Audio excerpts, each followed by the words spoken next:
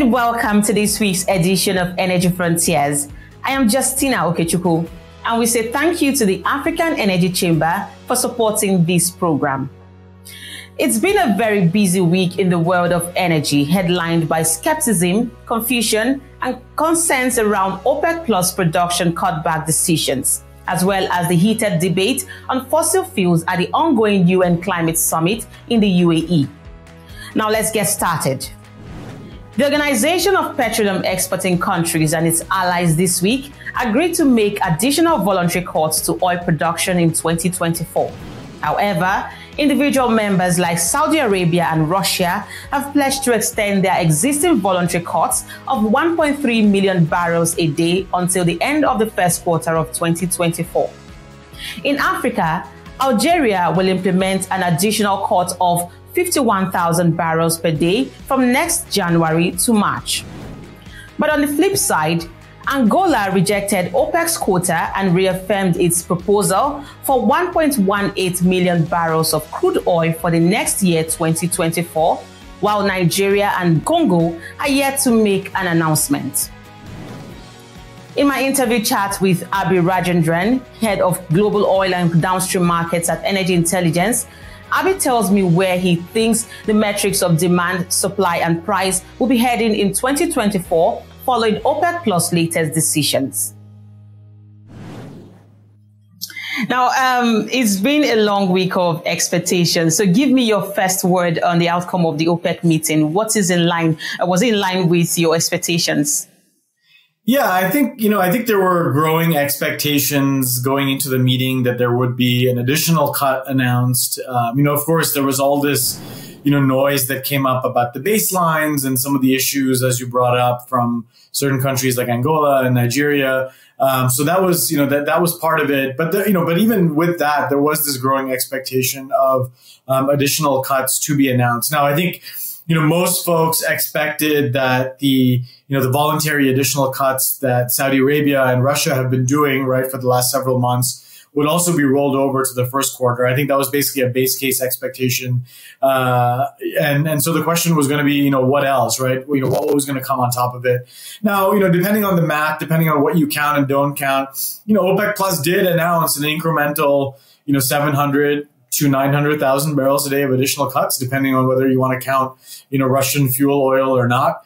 Uh, and you know, but but there are you know addition there are kind of lingering questions, right? As you brought up, which we can talk about. There are lingering questions, uh, you know, coming out of the meeting uh, for sure. But you know, look on on on paper, they did announce you know a fairly uh, you know substantial additional cut, uh, you know, for the first quarter at least. Now, how significant are these baseline figures, and what are you hearing from individual countries in Africa regarding um, their cutbacks?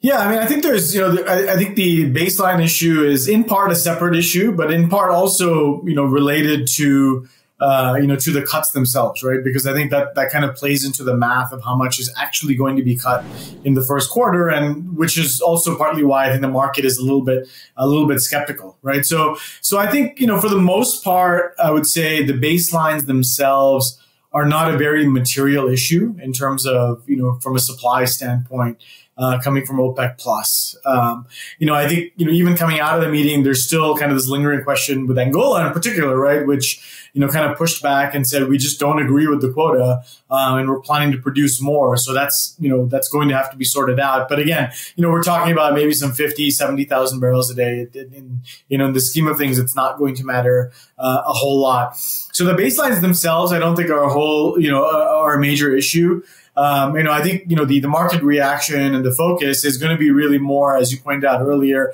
on the compliance. Um, and how much actual like you know new volume is going to be taken off the market you know versus what would have been previously expected in the first quarter i think there's some questions around for example russia right you know russia you know fuel oil is always higher in the winter um, you know as, as the winter ends you know, that, that kind of comes down anyway. So is that really an additional 200,000 barrel a day cut? I don't think so. So I look at kind of more the 700,000 barrel a day number. Um, and then there's also questions around, you know, around, for example, the UAE. The UAE actually, actually has a higher baseline that was previously agreed to from January, right? So net net, is that, you know, a substantial cut or a cut at all coming from the UAE?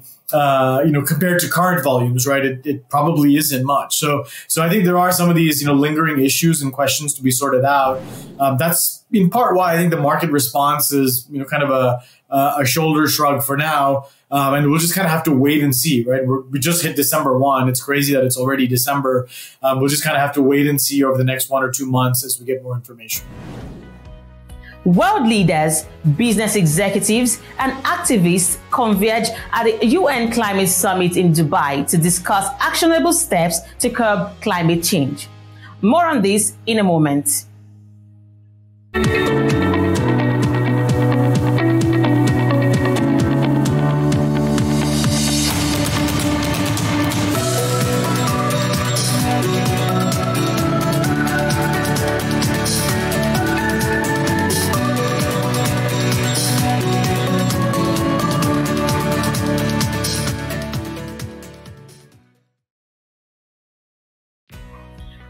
Back.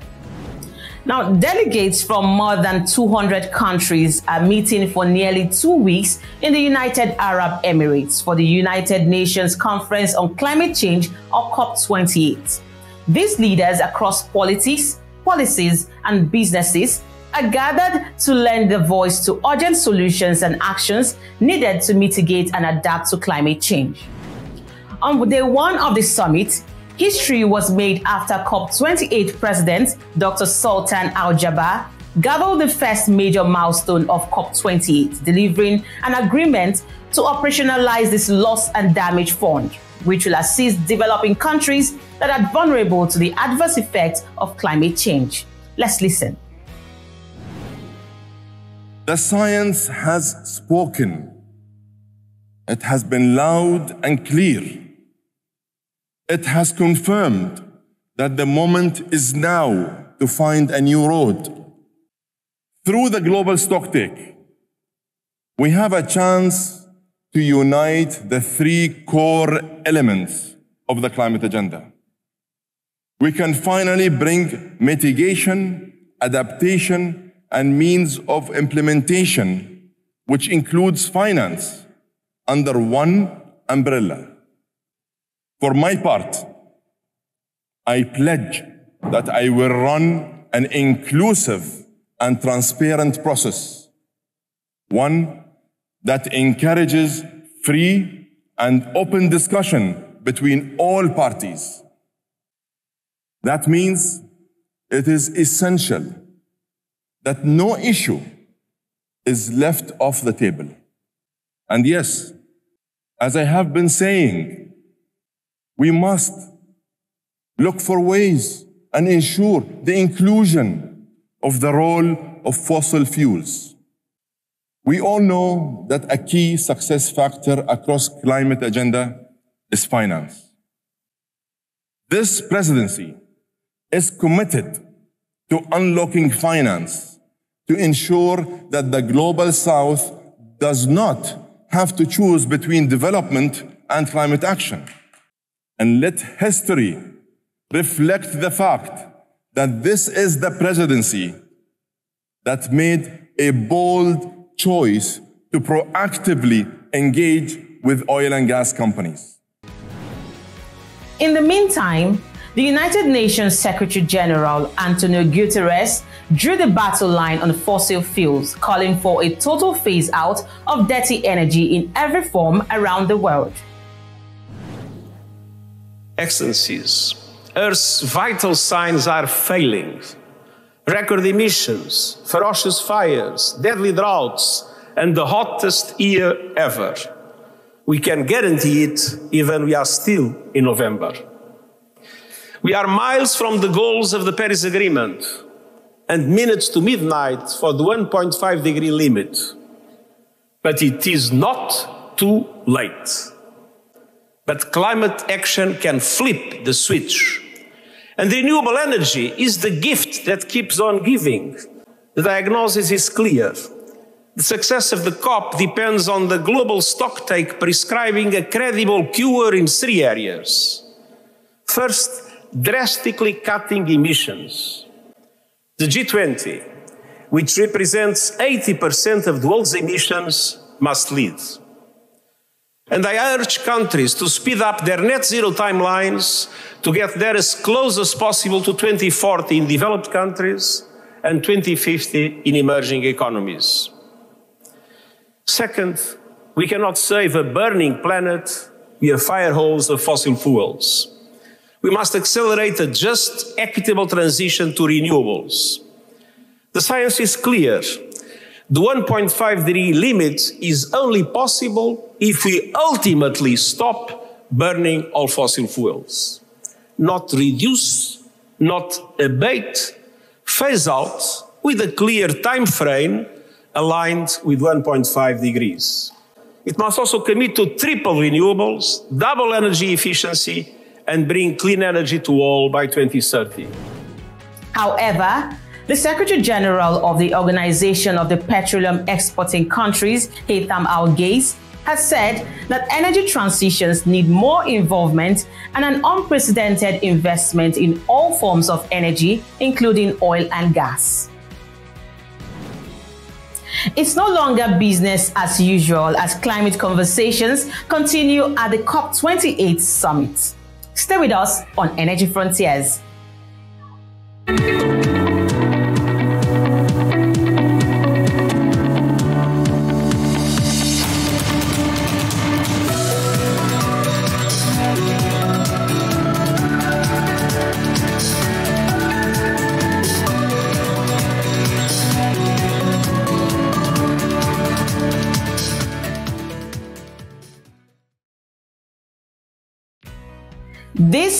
Is Energy Frontiers. The climate summit in Dubai headed into the weekend with the COP28 president, Dr. Sultan Al Jaber, announcing the UAE Declaration of Leaders on Global Climate Finance Framework and setting out a roadmap for the future of climate finance. 11 countries, including the Republic of Ghana, Kenya, Senegal, and Barbados, were pivotal in the success of that landmark framework. Let's hear now from that panel of heads of state. For a very long time, Africa has been in the corner of problems. We're trying to move Africa from being in the corner of problems to the corner of solutions. And we stated very clearly that we have ideas, we have suggestions, we believe Africa has the greatest stake in contributing to the solution around climate change. And that is why we believe that we are very well positioned to be part of the solution to the challenge we have today. So that, as Macron says, no country is left between making a choice between development or climate action. So we have real assets that we can bring to the table to solve the problem of climate change and to solve the problem of development. So Africa has the potential. We have the opportunity. We have every, everything that we need to power our green industrialization. And that is the reason why we are very clear about what is lacking. That is climate finance. And that is why we are willing to go all the way to the launch we are going to make uh, in this uh, in this in this scope of a new framework, what we called in Nairobi a new uh, global financing charter. We're talking, and Prime Minister Narendra Modi spoke about it when he spoke, and we're talking about trillions of, of, of, of, of monies that are required for the transition to be effective in the vulnerable nations of the world. It is now clear to all of us that that money cannot come from taxpayers' monies in the West. It can't come from pu- pu- uh, public monies. It has to come from the private sector where the trillions of monies available in the globe are. And I think that that points to one immediate solution for us. To what extent institutions like your own, the IMF and the World Bank, can become bridges for countries like my own and the vulnerable countries to be able to access that, that uh, these funds. Historically, the monies that we, we have access to have been the most expensive monies in, in the world. We are the poorest people on the globe, and when we borrow money, we pay more for it than those who have money. That is a, a situation that has, and it can only be reversed if the World Bank and the IMF become this catalyst for being able to access the large monies that are out there. And I think that that, for us, from what we have seen in Ghana, is something extremely important.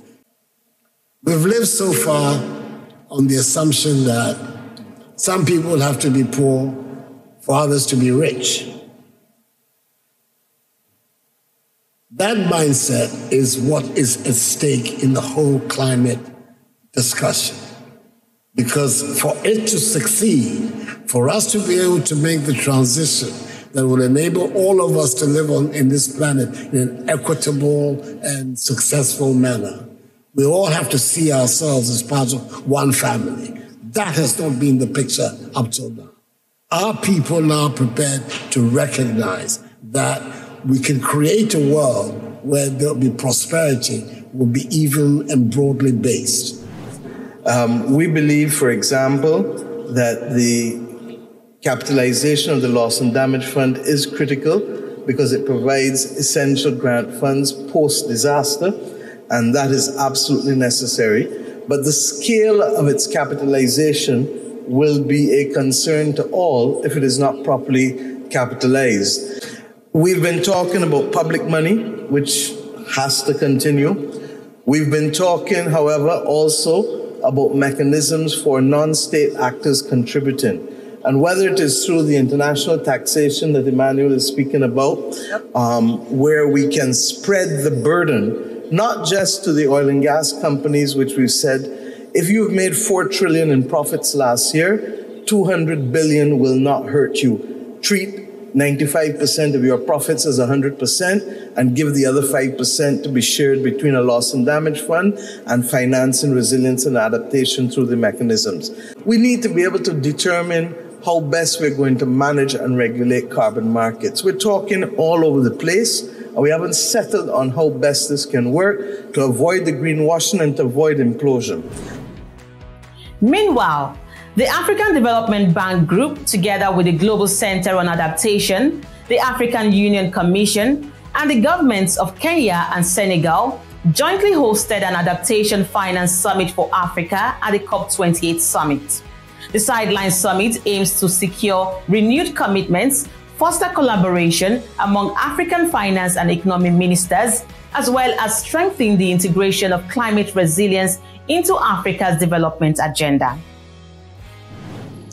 The latest Climate Vulnerability Index shows that nine out of 10 most vulnerable countries in the world to climate change are in sub Saharan Africa. Africa is simply choking from climate change. It loses 7 to 15 billion dollars annually due to climate change, and that is projected to rise to 50 billion dollars by 2050. However, Africa receives just 4.5% of the global climate finance.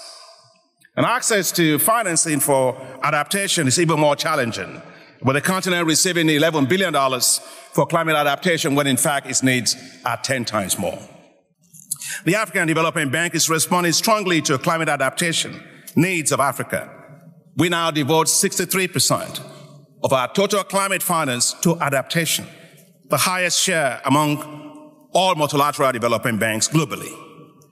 We plan to mobilize up to $14 billion for climate action window to support climate adaptation for Africa across 37 low income countries. I am very pleased, therefore, to announce here today that the operationalization of the climate action window starts right here and right now at this COP. As we are gathering here in Dubai, the message from Africa and other developing countries is clear. We need urgent adaptation action and support. Uh, there is uh, a message somewhere I saw. They say action builds hope. So let us create hope for the developing countries.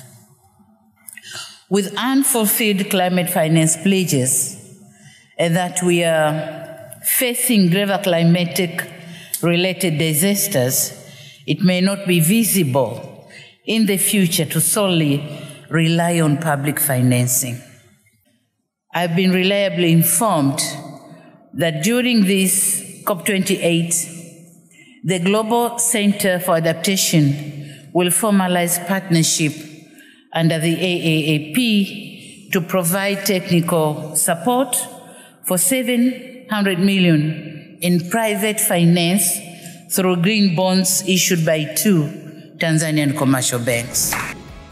And that's the package of Energy Frontiers at this time. And we thank you all for watching. Be sure to follow the program on Frontier Africa Reports website, like this video, subscribe to our YouTube, and follow us across all our social media handles as indicated on the screen. I am Justina Okechukwu. I'll see you next time.